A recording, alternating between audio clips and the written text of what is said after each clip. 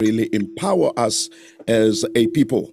And uh, it is today, uh, beloved, the 7th of October 2021. And uh, I'm broadcasting from Bold Moves Radio in Polokwane, South Africa, Limpopo. And thank you so, so very much for being with us. I welcome you, all our friends on Facebook, on Strike Manganyi page, and those of you who are listening on radio, Bold Moves Radio, and all of you who are joining us also on uh, uh, Bold, Bold Moves Radio YouTube. And of course, family, I am excited tonight because we are going to have a wonderful time with a beautiful panel that is before us. And we're talking tonight uh, a very important topic that uh, we all need to know and also to uh, be inclined when it comes to this topic. And, um, beloved, we're talking about demystifying albinism. But uh, I must be honest. Uh, there are myths associated with albinism in South Africa and have a profound influence on the lives of people with, with the condition from the moment of their birth up to their death. The beliefs and uh, superstitions surrounding the condition affects families' lives and interfere with access to education, employment, even marriage. The team uh, or the term itself, albinism, refers to a group of related inherent uh, inherited conditions which are the result of uh, mutilate, muti, mutated genes that cause deficiency in melanin production. But uh, today, or this evening, family, I'm not even going to try and explain anything here because I have in my panel uh, very important people that are going to be helping us through the topic. And uh, we have with us Mr. Bruce Nyoni. He is the executive director for Albino Trust in Zimbabwe. And we have Ms. Relebohile Lefojane, SADC Deputy Head of Third Technical Committee. We have also Ms. Chikondi uh, Kajanza, and then she's Miss Albinism Malawi 2019.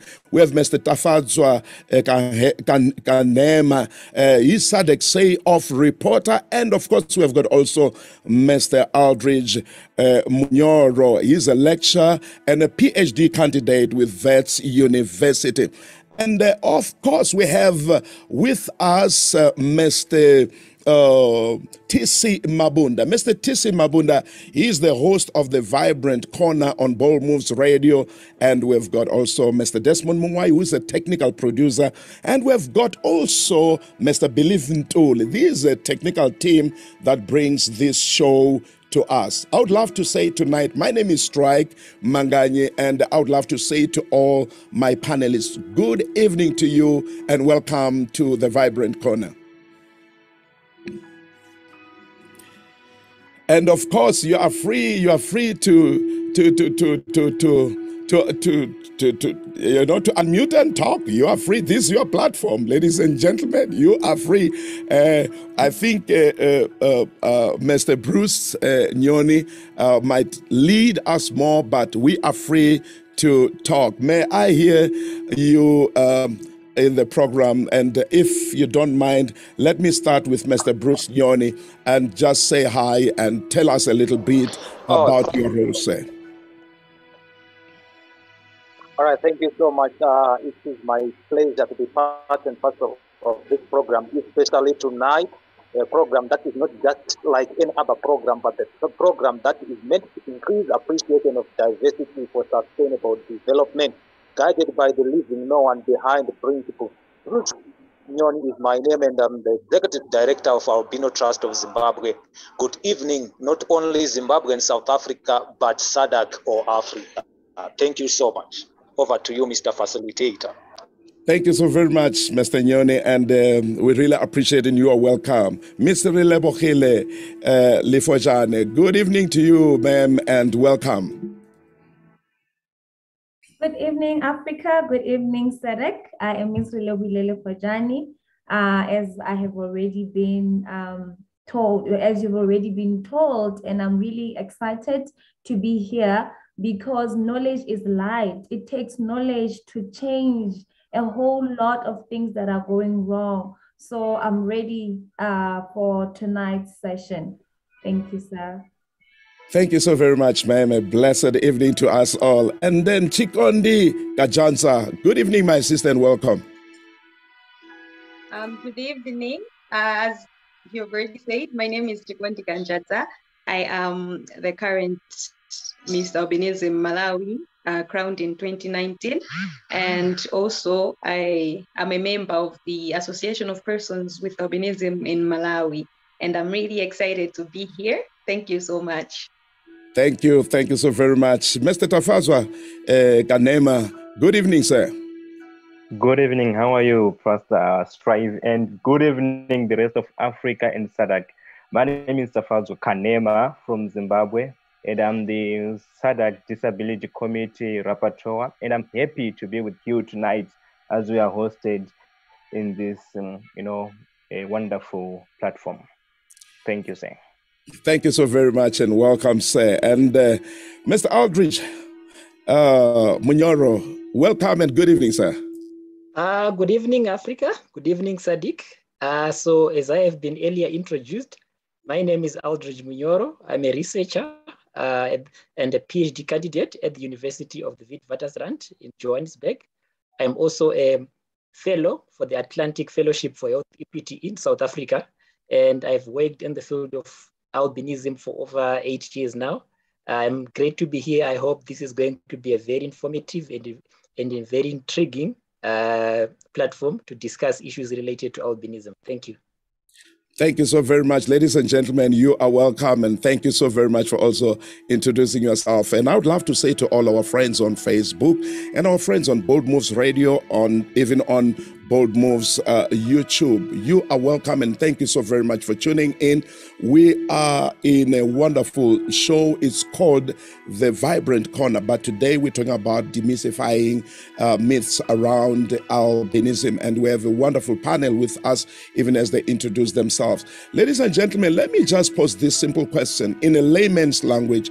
When we talk about uh, albinism. How do we explain it? You know, uh, there are in every field there are terms that surrounds that particular field, and even as a religious person or as a pastor, you know, eh, uh, there are uh, religious terminologies that uh, sometimes if I just jump on people and and uh, come with those jargons, I might be speaking Greek, but in layman's language, how do we explain albinism?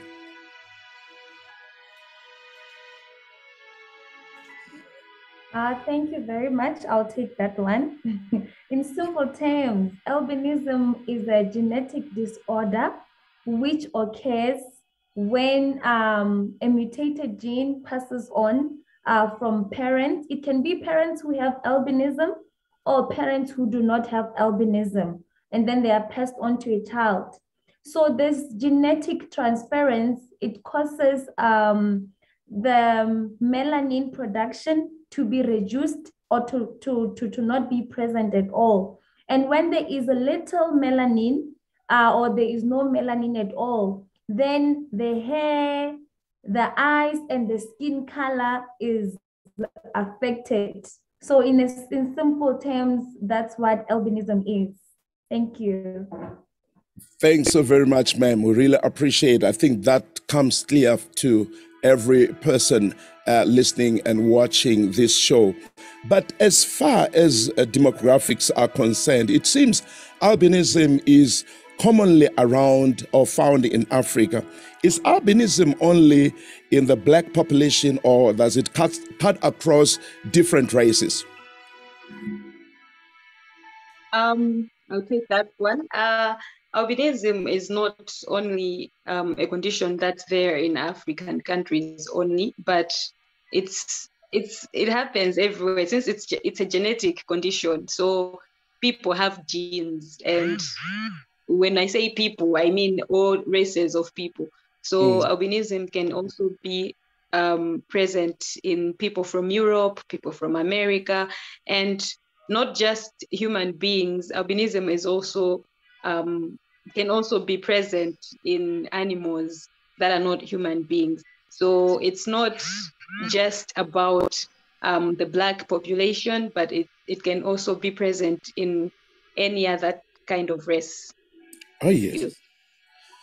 Oh, thank you so very much. Really appreciate. I just want to check if this, uh, because I would love also our uh, participants and our guests on different platforms to also communicate to us so that they also uh, take advantage of this platform and ask whatever they would love to ask so that we get clarity tonight. And I thank you, uh, family. I see you on Facebook. Thank you so, so very much. We're still on the Vibrant Corner. My name is Strike Manganyi, and I'm hosting this show tonight. Uh, and uh, the resident host, of course, is none other but TC Mabunda. But tonight, I am sitting on the driver's seat. Let, let, us look at, you know, you know, uh, Africa is Africa. And this one, I'm just throwing it.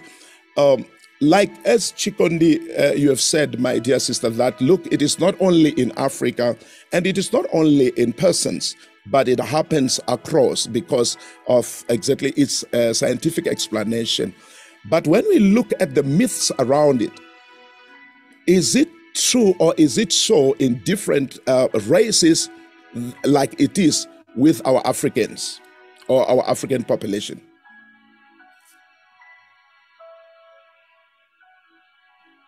Okay, uh, um, thank you so much. Uh, let me probably try by all means to to to to to to to to to, to, to, to draw you back a bit before I would allow uh, Dr. Munyoro to actually take it over. I wanted yeah. to give uh, uh, some addition with regards to uh, the definition. You know, right. the, the, definition, which is scientific, talks of genetic disorders. So mm. when you just mention the term disorder, it's unfortunate that I cannot write, rewrite the dictionary in order to, to actually clarify. Because mm. some of mm. these issues, they are issues to do with semantics. So when we mm. are simply saying it's disorder, that's why we see high levels of stigma and discrimination actually oh, prevailing Mm, so mm. um, that one is a scientific definition, mm. and it is mostly understood by scientists.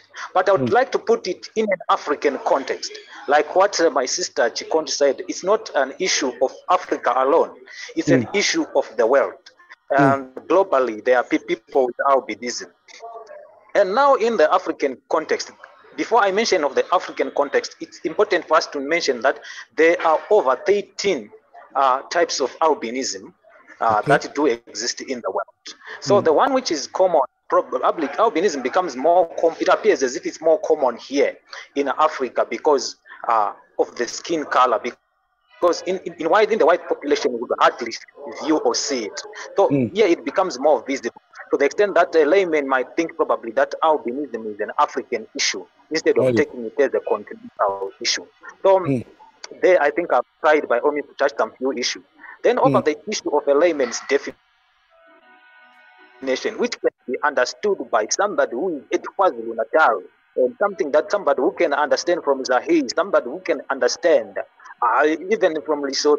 What we are simply saying, we have our brothers who looks white, yet they are black. And mm. these people, what makes them to be different from us is that they do not have more melanin than what we do have. And this melanin makes them vulnerable to uh, the sun, which in which Africa have got a high temperature. And mm. as such, they are vulnerable to skin cancer to the extent that they are not in a position to do uh, hard job like what others can do. For instance, I can say heading the cattle because of the sun, and this makes them vulnerable to skin cancer. Mm. Mm. And these are the people we need to protect than to abuse. Then we go to the next point, which I would want to talk about, especially on globally, on why is it that there is high levels of discrimination and stigma in the African context than any other countries. Like there has been appreciation of diversity uh, in all these other countries uh, in the development in the developing world.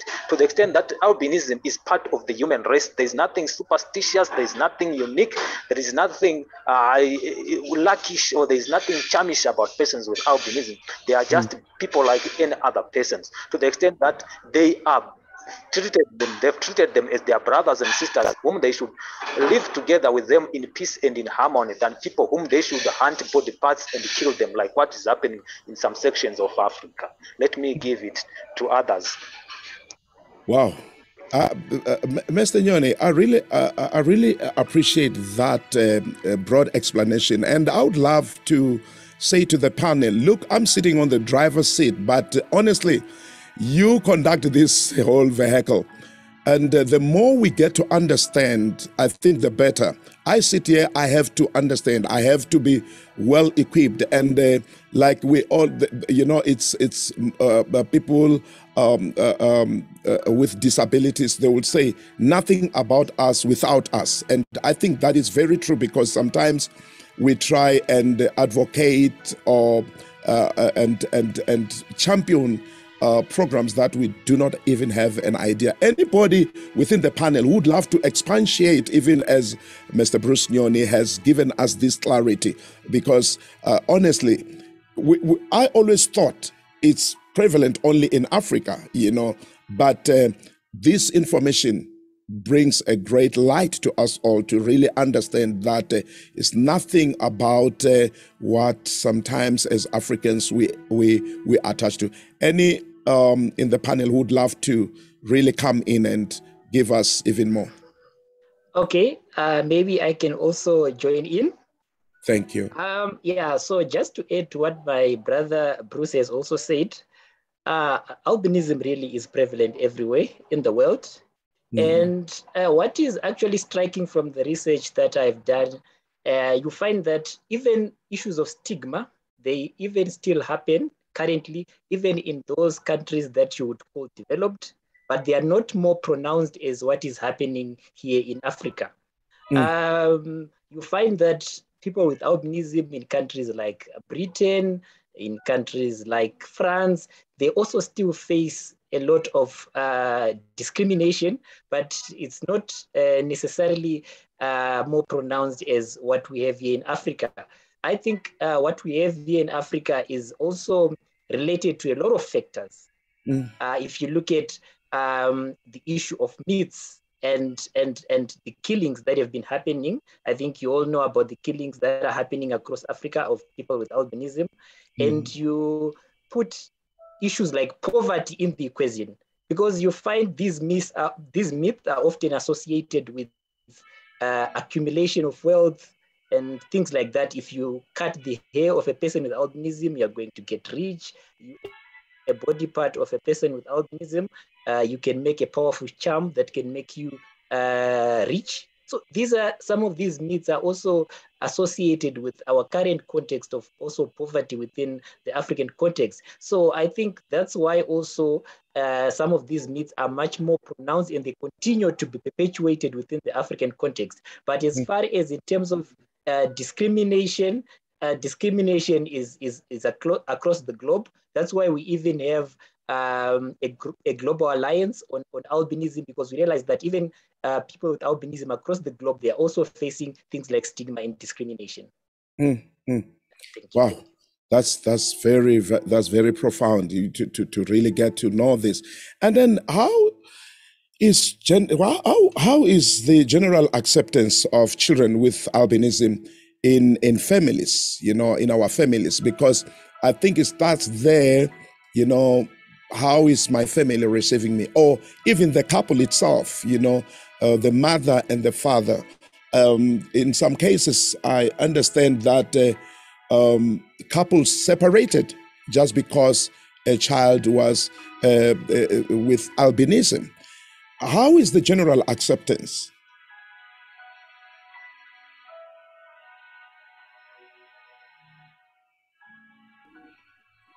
Uh, perhaps as others are still thinking, I could uh, come in and say the issues of acceptance is one of the topical debates that we have uh, actually mostly here in Africa. Mm-hmm you would find out that it, it is because of limited awareness and appreciation to simply say uh, of what albinism is exactly. What will be the responsibility? I would give you some of the myths that we do have.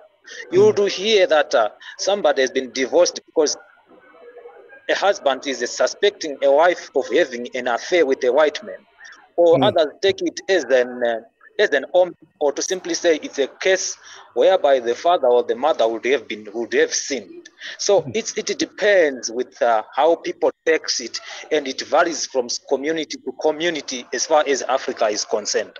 But however, I think with uh, with the years we are gradually seeing some of these uh, myths slowly but surely disappearing as a result of advocacy that has been done all over. It's difficult for one to appreciate that a person with disability can be a lawyer, with albinism to be specific, can be a lawyer one day. It's also dif- difficult for people to appreciate that a person with albinism can be a PhD holder, can be a lecturer who could teach almost everyone. So all those are some of the strides that are working towards increasing appreciation and acceptance of persons with uh, with albinism uh, in in our African country. Uh, let me also highlight some of the causes that would actually increase uh, uh, limited appreciation, leading to uh, breakaways in families and friends. It is important to mention that we live in society, and it is the society that we live in that shapes the way we think and the way we believe. So I think the backbone of all these things is the society. So once the society is confirmed, you would see that even if the father ran away, people can call the father or the mother and say, Come, let's sit together. And they reason together, they convince him to the extent that he or she accepts the child and they Mm. continue with the marriage. So, what I would put the blame on is the community because persons with albinism are part of the community. They've Yes. been part of the community. They will remain be part of the community. Not only the community, but they will be part of humanity. And I'm always, I always say that albinism, the human race will never be complete unless we have the albinism component. So Mm. let's normalize the situation than abnormalizing it. That's why you have heard me uh, always arguing against the scientific uh, uh, definition of albinism, talking about genetical disorder. Mm, mm. Thank you so much. Mr. Nyoni, thank you so very much. And on that note, being the executive director of Albino Trust in Zimbabwe, what would you love to share with us, even as others are putting something together? What would you love to share with us? Looking at, you know, Okay. mm, Yeah, okay. What is important is like, it's obviously we simply say, as the albinism community always say, nothing, anything for us without us is not partially, but is totally against us. So this is to simply say there is need for us to create an equal uh, level playing field with persons with albinism. Persons with albinism, for us to appreciate the wonders they can do in order to transform our struggling economies in Africa, in order to unite our different societies which are fragmented. What only people with albinism require is an enabling environment, inclusive and sustainable laws and policies that are fully implemented, not something which is on paper. We need adequate support be given in terms of education, in- in terms of employment, in terms of the learning and the working conditions. You would see that most of most of even the landlords they don't want uh, persons with albinism who would come in as tenants in their houses. All those things, if we demystify them, we will improve the, the situation. And uh, with that, I'm convinced that if we do it together, we will go far. The always question that I ask is, if not by us, the question is who then? If not by, if not now, when then? when, It's not by us who then. So the time that we need to action is we need action right here and right now. Over to you. I think others would have something to add. Thank you so very much. Uh, my dear, wonderful panel, um, eh, eh, after what uh, Mr. Bruce has said, who would love to come in? I think, Chikondi, are you coming in? Yes, um, I just wanted to add on the thing of acceptance in in the families. So usually uh, these days, it's um, the the acceptance is a problem in mostly in rural areas in in our countries because that's where issues of stigma are so um, you know intense and discrimination is quite a lot. And the myths are so intense in in these areas. Um, as compared to maybe the urban areas. So i feel like um, we also need to bring awareness in in the communities in in local communities because that's where um, acceptance issues are so perverse. And it, it, it's a problem really because maybe in in the rural areas that's where um, persons with albinism do not have role models to look up to to see that maybe uh, persons with albinism can actually become doctors, nurses, or lawyers, mm. or any other thing that persons with albinism can can achieve. But um, so we, we need to actually also look at the different communities, like Bruce said, that the acceptance issues are are different from community to community, but I just wanted to add that they are so perverse in rural areas. Mm. Thanks very much, much uh, Sister Chikondi. And being a pageant, you know, yourself, uh, let's talk about the perceptions of beauty uh, in Malawi and Africa in general. You know, um, what what would you say? And maybe tell us a little bit about yourself, how you stood up and said, "Look, I'm going to contest here." And uh, because being a, a pageant also says you're an ambassador. So, what would you love to share with us tonight? um, the perception of you know beauty have changed has changed over time mm. so like um it, it has changed i can say in in from society to society but what mm. i can say is that usually uh, people do not think that people with albinism or people with dif- uh, disabilities in general uh, have beauty that they can showcase. Because by virtue of being a person with disability people think that uh, you're you're less of a human. So mm. the perception i can say is that uh, people with disabilities are not considered as someone who has beauty. So um, doing the pageant that we did in malawi i feel like it also brought awareness to people that it also showed that people with albinism also do have the, the, the beauty. So when I decided to contest for uh, the Miss Albinism pageant, um, basically I just also wanted to show the world that uh, persons with albinism also have beauty. So that was one thing. That was one thing that drove me into um, doing the pageant, contesting in in the pageant, because the perception is it does not regard people with disabilities or albinism to be um, accepted in society or as people that um, are also beautiful. Wow. Um, I, am looking at you hosting a pageant. Uh, now it will not just be uh, Malawi, but uh, starting with a SADC pageant, and then an mm-hmm. African pageant. Because honestly, we really need to go to go big on this and make sure that we are dealing with the myths and we are educating our people when we talk advocacy. And uh, uh, um, uh, uh, you know, I, I, would love to hear from you, being um, a SADC deputy head of third technical committee. What you know I, am tempted to let this wonderful panel tell us exactly what you are doing because my desire tonight is for all our listeners and all our viewers to be able to know exactly that uh, something is happening within the region and uh, we should be able to be part of it. What, what do you have to say to us tonight? Okay so much firstly i want to emphasize that in SADC or in Africa, we are one, irrespective mm. of the skin color, the language, and the tribe that you come mm. from. That's the heart from which we do everything.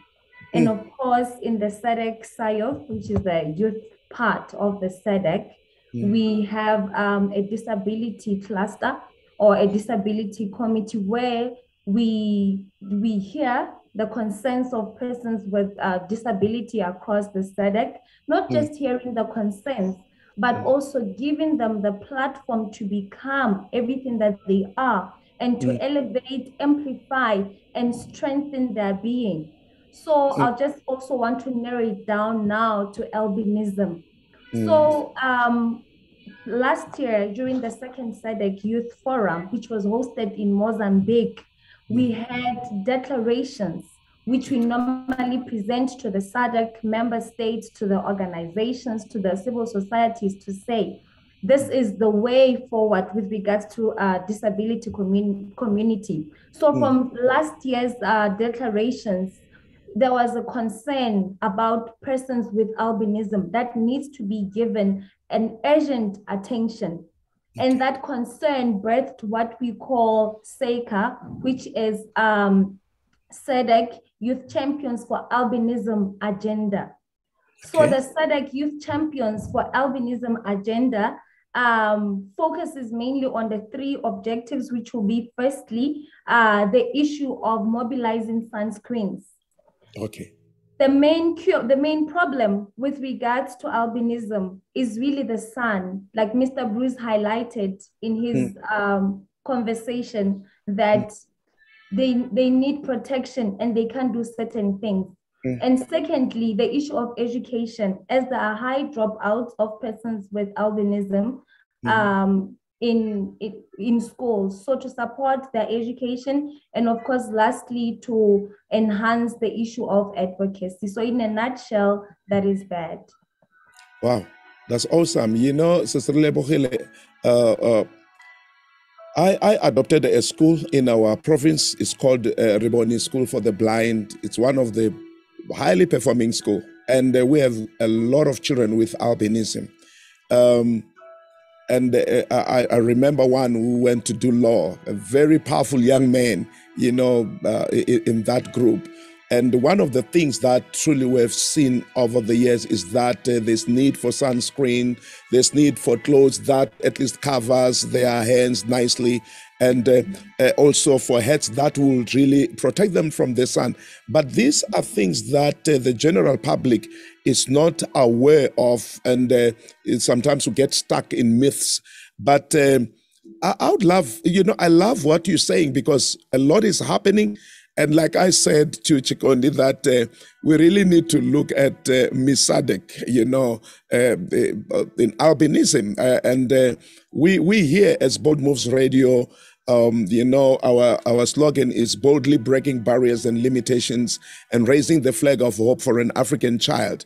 And that is why uh, it's it's about a platform where we can be able to talk about these issues, you know, uh, beginning to solve our our problems, write our stories, because a lot of people try and write our stories, and sometimes we get so offended that they misrepresented us, but we have to write our own stories.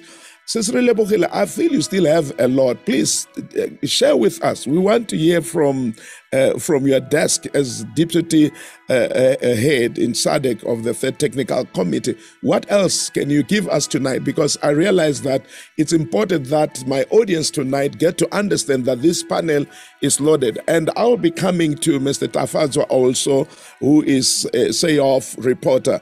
But what else would you love to share with us tonight?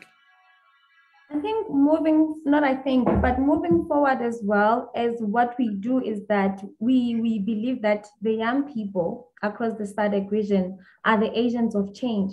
We had um, in August we had a third SADC Youth Forum, which was hosted in Malawi, and as the disability committee, we also came together um, to to you know, but basically the focus was on SEICA the SADC um, Youth Champions for Albinism agenda, where we had different discussions as well. And also, not, not only about, I want to emphasize that what we are doing is not about charity, it's about Mm. sustainable development. It's Yes. about empowering persons with disability or rather with albinism because Yeah. they are well able as Yes. well. In the Mm. workplace, in academia, every field, they are well able. Mm, So.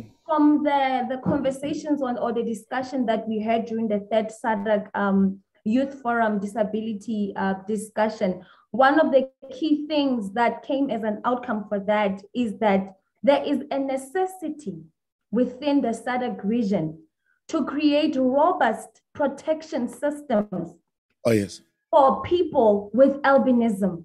Mm. As we strongly condemn this Mm. issue of um, the murderings and the violations against persons with albinism. So that's one of the things that are very key.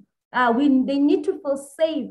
They need to feel safe in Africa in the workplace, and so that they can fully enjoy their human rights, Mm. um, just like everyone else. Wow. I can so go on and on if you don't stop me.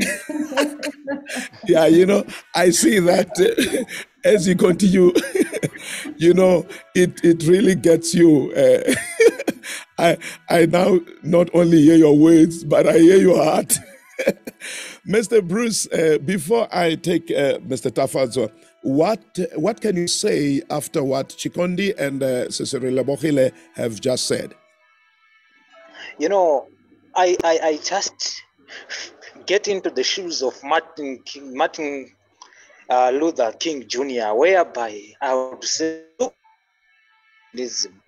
we look forward to that day where we are not going to be judged by the color of our skin, but mm. the content of our character.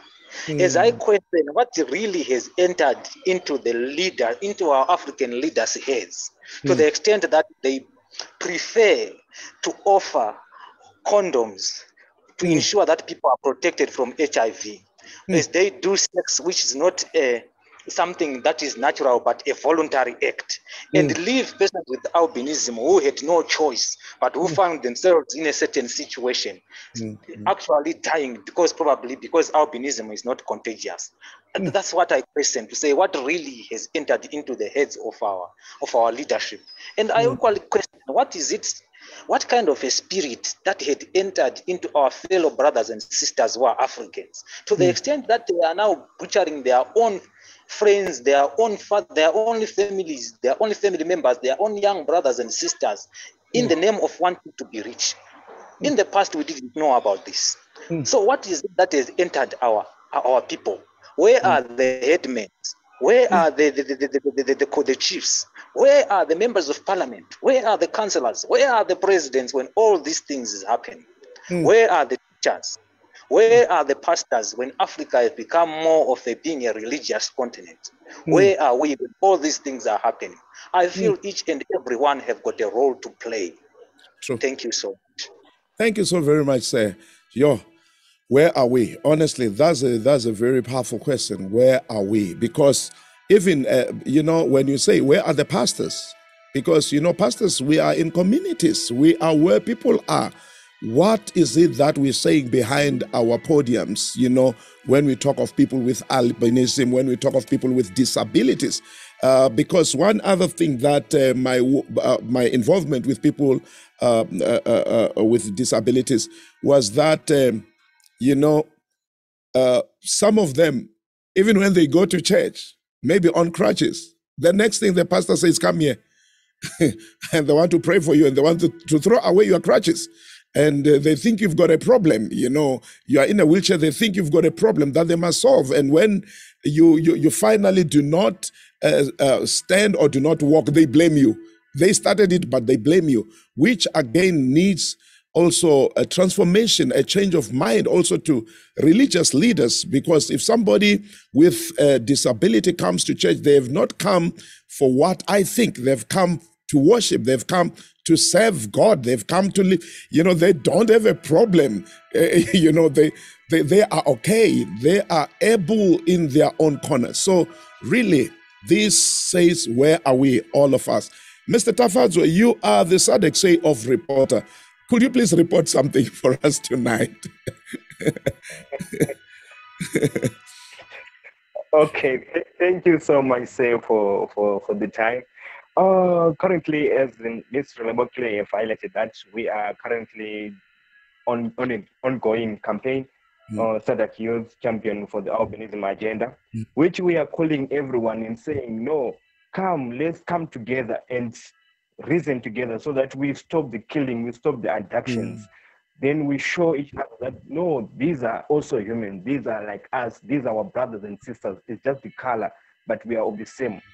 So we are still also saying, let's everyone come together, let's raise awareness so that we, we, we, we do not want to keep on hearing Mr. Bruce asking, where are we? We want to show him where we, where, where we are and where we are going so that at the end of the day, everyone have been educated that no, it's just a color, but there's nothing, he's just like you, he's just like me. So that mm. we, we walk the same path. So mm. we are still on, on, on this campaign and we are calling everyone saying, youth, uh, leaders, church leaders, community leaders, our heads, our chiefs, school, school headmasters, school teachers, let's work together so that people with albinism are protected. People with albinism are respected. Yeah, in, in short, this is what I can I can say for the meantime. Thank you so so very much. Uh, in fact, this this is very very much important. You know, um, I, I always say, you know, um, that is why I was um, excited when I hear Cicero Lebohile saying young people should arise. Um, in one of the programs, you know, young young girls and young boys were saying, "Hey, South Africa, for an example, we have had um, a huge uh, uh, borrow. You know, we borrowed a huge sum of money, looking at dealing with uh, COVID nineteen pandemic, and then." There's been misappropriation of funds and all things like that. And they were saying, hey, who is going to pay that debt? And, and they said, our leaders, our fathers, they created debt that we must pay. And like somebody said, Africa, we're always lagging behind because our four or those who have gone before us, uh, you know, before they hand ever over the baton, they throw it down. And before you run your own part of the race, you have to run back to go and pick it up.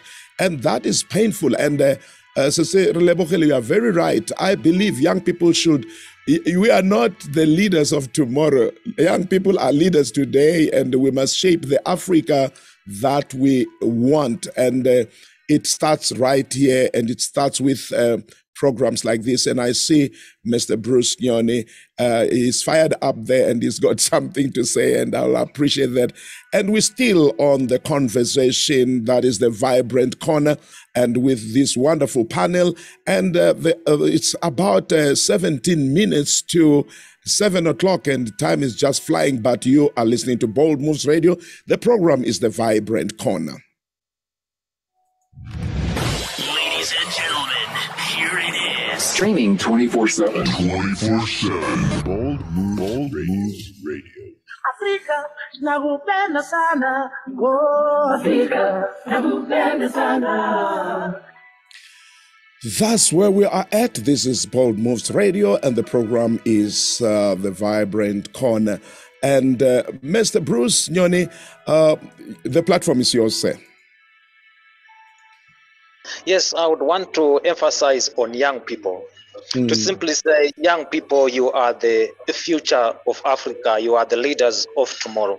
Mm. As you are leaders, I would want to urge you that uh, your forefathers and your current fathers, your leaders, to some extent, at times they become your misleaders. But at times they've remained as leaders. They have erred in so many places and so many areas they have made successes in a lot of areas and in a number of areas. But what I pray for is that let's keep the momentum. Let's copy what is good and do away with what is evil. There are some mm. of the issues that were being swept under the carpet. There mm. were some of the voices which were being suppressed. There were mm. other communities which were being oppressed. But mm. let's all be voice of the voiceless. Who will speak on behalf of the weak? Who will mm. assist the weary? Who will comfort those who are weeping? Let's mm. all be one and united so that we leave each other not behind, but we move as a team. That on its own will help us to achieve the Africa we want, the mm. Africa mm. we all belong, and the Africa to which we belong. I feel that persons with albinism and those with disabilities should not be treated as last or third class citizens mm. in the continent of their own, but they mm. should equally be given equal and befitting honor and uh, responsibility to be part and parcel of the society to which they belong, to give each and everyone uh, the opportunity they deserve, to create an enabling environment which will leave no one behind. I think you and me, we've got a task, a task to liberate those who are still uh, uh, oppressed in, liberate, in the liberated continent. We still have a long way to go, but we can only go together and we can also go far once and until we appreciate the weaknesses that are currently there and capitalize on the gaps that are there and move forward as a nation. Let's move away from the charity model of disability or albinism programming to move mm. to a developmental one so that mm. we would not discriminate our fellow friends mm. and comrades, so that we would move together. They, this community have got a lot which can offer. It can offer all those wonders, and if only they are given an opportunity. So, Mm. if others have failed to give them the opportunity in your spheres that you are doing, please start to, to, to, to give them the, the opportunity to be equally represented. It's not too late, but you can do the change that we all want. I think we understand each other because we are young people. We know where we are and we know where we want to go. Thank you. Yeah, Mr. Nyoni, thank you so very much. On that very note, you know, Pastor Sibusiso Mahlangu says, Mr. Nyoni and the rest of the team, we feel your heart and are condemned of for standing and just watching all this discrimination growing by day by day. This has been an eye opener, and we will surely act differently. Thank you, Pastor Strike, for exposing us to such truths. Wow, that's that's awesome. It's exactly what you're saying, uh, Mr. Nyoni, and we really appreciate. Mr. Aldrich Munyoro, I was coming to you. You really felt my heart, brother, because you are a researcher. You have got a lot to share with us in these few minutes that are left. We would love to hear uh, before we chat the way forward. The platform is yours, Mr. Aldrich. Okay, thank you. Uh, I was sorry I had I missed a lot of issues that I wanted to comment on because of my network. As you can see, it was going on and Mm. off. Uh, But yeah, I wanted to touch on some of the issues that uh, were being discussed here, especially the issue of um, dehumanization and uh, the perception that uh, something is wrong with a person with albinism. I think uh, it all ties to that. Uh, in in all the uh, my work with people with albinism, I've noticed this that uh, dehumanizing people with albinism, especially if you look at things like access to resources, access to to, to, to, to, to economic benefits, it's easy for your governments, for your communities to deprive people of albinism of these resources if they if they make people believe that people with albinism are less than human. Mm. So the, the dehumanization process to make people with albinism look less human is actually also a ploy um, that then results in you know uh, them being deprived of resources. No one is going to complain or to stand up for people with albinism because everyone sees them as being less human. So it's actually you know uh, a, a, a, big ploy uh, that is that is that is going on. Uh, and I also wanted to comment on the issue of the media. I Mm. was happy to hear my brother Tafadzwa Deb was talking Mm. about the call to raise awareness and encouraging uh, reporters and to come in and report these issues. I, I think there is a lot of underreporting when it comes mm. to issues of albinism. And it's, mm. it, it, it's painful because, you know, you see a lot of issues that are mostly, you know, that are not really issues that would change society. Mm. People would like to report more about celebrities uh, going, buying cars, and, and, and things like that. And it, when it Mm. comes to critical issues like this, there is very little underreporting. I mean, last week I was looking at um, this trend. There is this uh, soup model, a famous model, I think is based in South Africa and originated from Zimbabwe. He, he went online in his Instagram page and he has a huge following and uh, made some comments that are derogatory towards people with albinism. So I was following this story, and this is someone who is a social influencer. I mean, and you start to wonder why these myths continue to perpetuate because Mm. of such people. If, if they are posting such things on their Instagram pages, it's, it's, it's, it's, it's quite difficult. So I'm, I'm going through the, the media report and I see that there is very few reporting on such issues. You, Mm. you, you can pick out one or two newspapers that would have reported such an issue. Then I start digging deep into this model, this figure, and I see there is a lot of reporting about how many cars he bought, she bought, how many when the first party she attended. These these are a lot. So you Mm. can see the the, the, the, the unbalance in terms of the way in which reporting uh, is, is, structured. No one really cares about reporting of such issues when it comes to stigma and discrimination. They'll rather report about parties and you know socialite events so it's it's really a huge problem and and and this is how this problem of stigma is continuously perpetuated because you Mm. know there is the, the the society seems to not care and or, or the people that are actually supposed to be doing something. So I think, yeah, I think we still have a long way to go. Wow, that, that, that's that's very true. In fact, it's so scary that uh, things that are even destructive, not um, uh, constructive, they get such mileage. You know, in fact, they even say it makes news. You come with good news, they say good news does not sell. And here we're talking about lives here. Here we're talking about a community here, but uh, there's not really much reporting. But um, uh, uh, Mr. Aldridge, that is why maybe this platform becomes very much important. And this brings me now to, uh, in this uh, seven or eight minutes that we have, it brings me now to uh, the question what do we do? Where do we start? And as Bold Moves Radio, we are saying, here we are. We want to be part of this uh, car that is moving from Cape to Cairo and making sure that uh, we do what is good and right. But uh, as these different organizations, starting from uh, Mr. Uh, uh, uh, Bruce uh, Nyoni, uh, our sister uh, Relebohile, and uh, our sister Chikondi, and uh, our brother Tafadzwa, and you, our brother Aldrich. Give us the way forward. What can we expect? Because honestly, would love to have these platforms. Today, all we needed to do was to say, look, Africa is not quiet. People with albinism are not quiet. They are a community, that they are a people. They are competent. I have got friends that are powerful, that are great, who are also coming to, who are also going to be part of this platform. Some are pastors. There is one that uh, we were just joking two, three days ago. It was his birthday. He said, My friend, I'm left with only one year to 10, 60. You know, but uh, what do we do? Where do we start?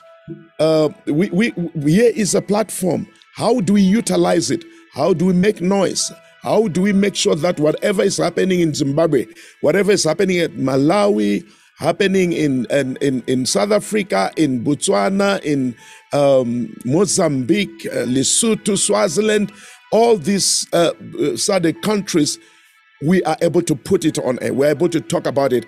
And uh, on that note, Mr. Nyoni, uh, Mr. Bruce, you, you were talking about something that is going on in Zimbabwe uh, now or in in few days to come about uh, uh, uh, people with disabilities.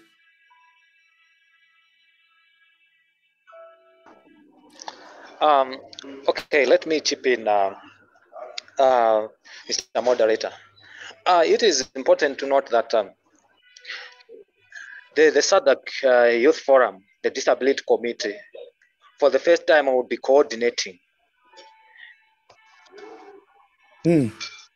It will be coordinating this uh, this project to ensure that we meet all the persons with albinism at their dearest point of need within the SADC region, and if possible, will spill out to the rest of the African continent, as we are going to set the tone and show them how things are actually going to be done.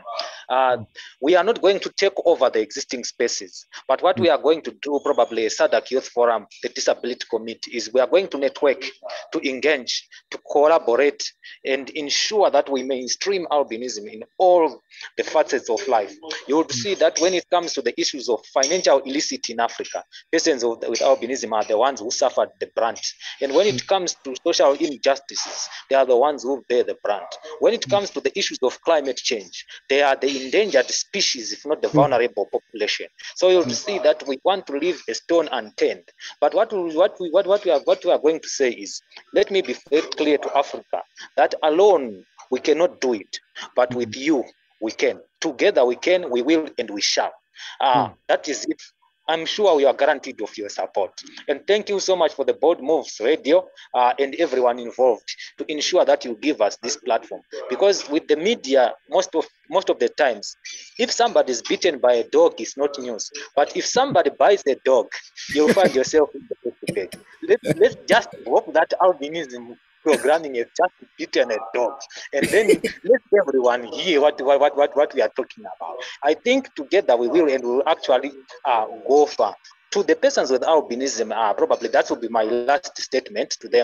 It's like, don't feel as if you are alone. To those of you who have been attacked, don't feel that everyone have offended you. Yes, Mm. we appreciate and uh, know and acknowledge the existence of rebels and criminals who Mm. are hunting your body parts as if you are animals. But Mm. they are the rest of SADC, the rest of our God is also by your side. Let's Mm. just pray. One day things will change. Let's rewrite the story of Africa. And once we rewrite it, everything will fall into place. Thank you so much.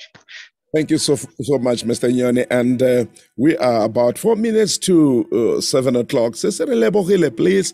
Uh, where do we go from here? I, I think Mr. Bruce has given some serious punches here, which are very much important. And we are here. We are saying we are together, and we press this. We move this forward. Cesare Lebohile, please. Yeah. Um, I would first would like, would like to say the most precious resource available on earth or in Africa is a human being. Yes. So if you want economic growth, um, social, economic, political abundance, take care of that resource, a human being. Mm. And again, I want to say that prevention is better than cure. If Sure. we contribute towards ensuring that every young person has access to sunscreens, it means we're already preventing skin cancer. And to deal with skin cancer is another beast that is Mm. beyond contributing whatever amount you have to say, I'll be a difference uh, maker and contribute towards sunscreens. And Mm. lastly, I want to say that as SEDEC SEYO, we are a coordinating body, we are a regional coordinating body. It Mm. means we have access to every organization in the, Sa- in the SADC region, organizations of persons with disability, organizations of psychosocial health, organizations of stigma. It's time to wake up. It's time to wake up from the sleep. Let's Mm. come together and stand united and ensure that this most precious resource, people living with albinism, also they are their optimum best. Thank you. Thank you so very much, Cesare Lebohile. Sis Chikondi, please. Um, could you, uh, uh, from our Miss uh, Miss Albinism Malawi, um, please, wh- where do we go from here? What what do we say? Where where do we start? Like uh, you have had Mr. Bruce over there in. Um, we are in your hands. All right. Um, a lot has already been said by Mr. Bruce and Ms. Lebohile, but Mm. I just wanted to add that um, the advocacy is not only for people with albinism only, but we all need to join hands and um, ensure that the rights of persons with albinism are protected and Mm. that they live just like any other person. So it's not just about persons with albinism fighting for themselves, but uh, everyone else has the duty to join in in the advocacy. Mm. Thank you. Thank you, thank you so so very much. We really appreciate. it. Mr. Tava, Tafadzwa, please, sir. Oh, thank you. It sounds like I, I'm getting the mic when everyone has said everything I want to say. Anyway, I, I, I, anyway, I want to say mm, to the youth, let's not imagine the Africa we want. Let's just create it. We Yes. can create it by working together. And I would Mm. like to call all media houses that let's come together and raise awareness together so that we end these killings, we end these abductions, we raise awareness so that everyone gets to know that no, albinism is just a disability. They are they are not cares or they do not have care, they do not carry money in their bones, but they are just like us. So as youth, I guess, or um, can I say I guess, or as youth, we are the people to change the narrative. We are the people to change the history, to rewrite what has been wronged or, what has been left by Mm. our forefathers. So the time is now for us to rise and make the change we want to see. With this, I say thank you so much. Thank you so very much, sir. And then, last but not least, Mr. Aldridge, our researcher.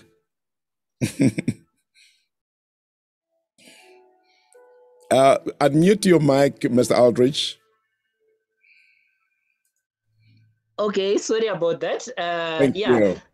so I want to uh, talk about the way forward uh, by talking about uh, the project that we are currently watching here in South Africa uh, with regards to access to health for people with albinism. So, you know, I believe that, you know, awareness campaigns, they've been happening, but we need to now develop strategies, stra- new strategies that can enable uh, people with albinism, that can enable the community to actually understand what is albinism. What we are doing with our project, we are, ut- are utilizing what we call a decolonial feminist approach, where we are saying that we are involving community leaders, we are involving, you know, even those uh, traditional healers we are trying to integrate them to teach them about albinism. So awareness does not only become about raising awareness for people with albinism, because we Mm. realize that some of the problems that we face within society is that we adopt some a, westernized approach where uh, people we come in and we say, no, your culture is barbaric. This Mm. is wrong. So once you start uh, doing that to a culture, and you go on and say no, uh, albinism is, is, is, is the definition is genetic. People no longer want to listen to you because already you have dehumanized their culture. So we are trying to integrate, you know, all these groups, get them in into the to the table, raise awareness, and within the context of the African cultural uh, tradition, so that you know they don't feel left behind. And I Mm. think that's um, uh, that's what our project is all about. And um, yeah, I think basically uh, you can also follow the project on our Twitter and Instagram, Century23. Uh, but yeah, basically that is what we are trying to do in order to raise awareness. Thank you so very much, sir. And uh, last but not least, I see um, our technical producer here, uh, Mr. Desmond. Mr. Desmond, I would love to release my panel. They've given their last shots for tonight. Um, um, uh, uh, in in Xitsonga, hi nyikira wena ra. Uh, uh, thank you, Pastor Strike, for affording me this opportunity. I'd like to appreciate the panel for, you know, the show has been very informative, and I think we have learned a lot from what they have uh, contributed. I, I, I wanted to ask a quick question uh, before we close, and particularly to um, uh, Chikondi, uh, because I've been to Malawi a couple of times. I wanted to find out how rife is uh, the stigma around people living with albinism in Malawi.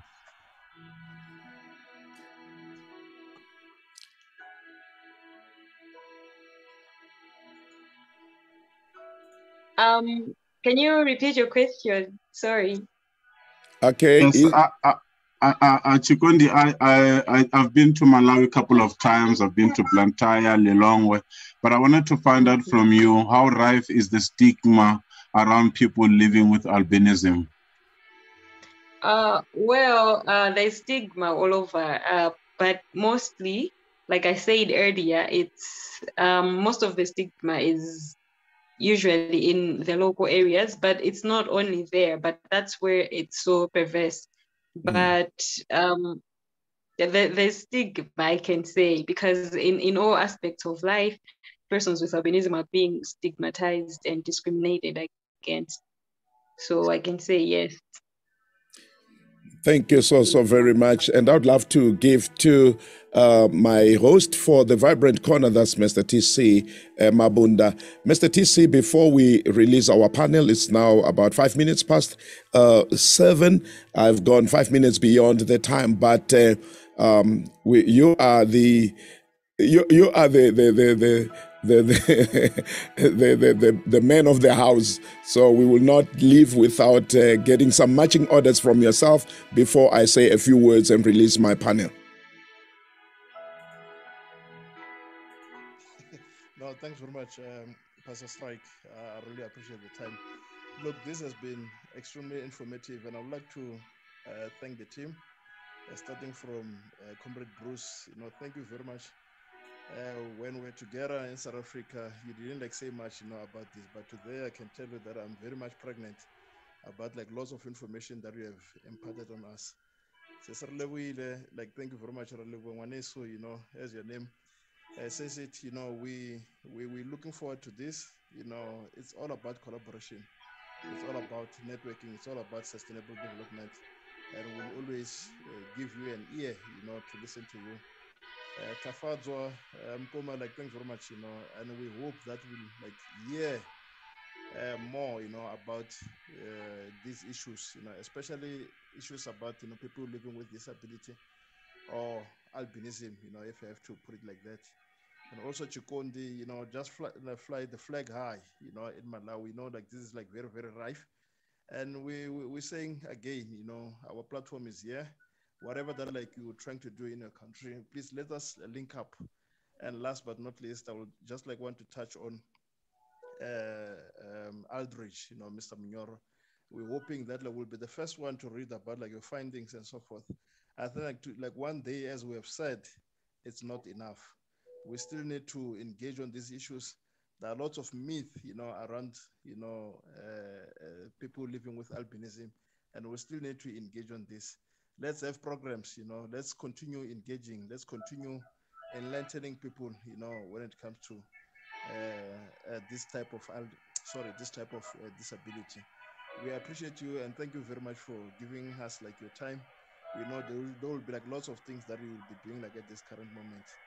Um, we're hoping that like very very soon we'll engage about like another program. And thank you, Mr. Host, you know, for standing in and doing like an excellent job. And I see like there are like some of your um, like SIOF members in our midst even though you didn't get like much, you know, to comment on, but like thank you very much. We really appreciate you. So I'll just like pack it here for now. And then to us, it's just like let's continue with the networking and collaboration. Africa is the Africa that like we want and it's Africa that like we'll make. Thank you. Thank you so very much, Mr. Mabunda. And let me correct you. I said they must brutally correct us here. It's not people with uh, living with albinism, it's people with albinism, people with disabilities. Thank you so very much. You know, I'm I'm I'm smart from tonight. I'm smarter. And I would love to take this time and say thank you so very much. You are listening to Bold Moves Radio, boldly breaking barriers and limitations, raising the flag of hope for an African child. And our panel, thank you, thank you, thank you. And we're saying as Bold Moves Radio and the Vibrant Corner, this is your platform whatever you're doing, wherever you're doing it. We would love to be part of it. We don't want just to contribute, we want to be part of it. Even some of the meetings, you know, we would love to be part of it and even come there live so that uh, together we move Africa forward. And of course, Africa is a great continent. Africa, we are a great people from you know you look back we are a people who are able to embrace each other. We have projects uh, our indigenous projects like lichima tsima where there is not there was never said to be a poor person in a community. If we have cattle we'll plow our own yard and plow the neighbor's yard. If if if it's about roofing our our huts we will do it for each other. And this is the africa that we are talking about. And united we move Africa forward. I just want to say thank you so very much to my panelists. And I, I also want to say, we will be putting our ear on the ground to hear what is the next move. And we want to be part of that. We want to make noise about it. And would love also to say to our friends on Facebook, thank you so very much for being part of this conversation on the Vibrant Corner tonight. I trust that you are enriched. And all our friends also on YouTube, thank you so very much. Let us move Africa forward. Let us really open up and deal with these very crucial uh, uh, issues where we, we have to deal with different myths around our communities, around our people. And of course, our friends and all of you on Bold Moves Radio. Thank you so very much. My name is Strike, and uh, I've been your host tonight. I love you all and I appreciate you. A blessed night to you all. Thank you, thank you, thank you.